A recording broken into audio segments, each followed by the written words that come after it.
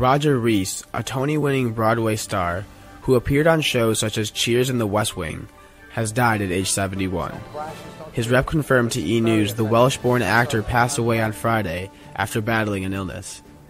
Rees had lived in the United States for the past couple of decades and is survived by Jersey Boys musical co writer Rick Elice, his longtime partner and husband of almost four years. Like many UK stars, Rees began his career in theater.